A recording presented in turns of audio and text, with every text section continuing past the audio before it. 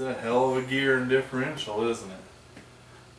Pretty good size. Yes, it is. Okay, uh, where did you get it from now? Uh, I got it from a guy in California. It came from uh, up in northeast North Dakota to begin with, by the name of uh, Ben Fisher built it.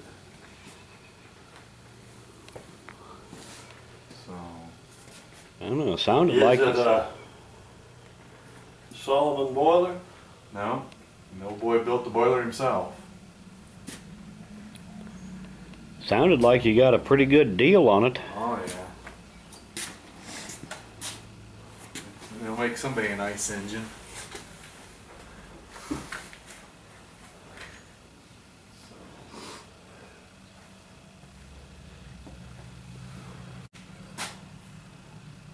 The old boy did a nice job of building it. Yeah, I believe they did.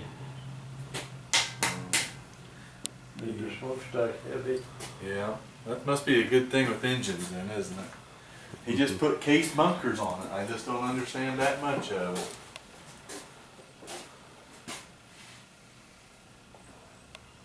But it's got a North Dakota stamp tag. It's been tagged in North Dakota.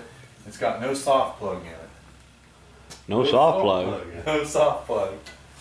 I think I would fix that. It'll blow the little bastard up. Yeah. But he's made the, the throttle valve so it went on the on the frog and everything. And the little handhole back there, but Huh. I can't get the handhole out. I think he, he had to put it together inside or something. I don't know. Maybe you need to go around there with a over and over I it. think we need to grind on it maybe a little bit. But Somebody put a lot of work in it though. yeah, and somebody's not taking very good care of it over the years too. I had to take a rod and rod the boiler out. I still don't have it all out, all the garbage.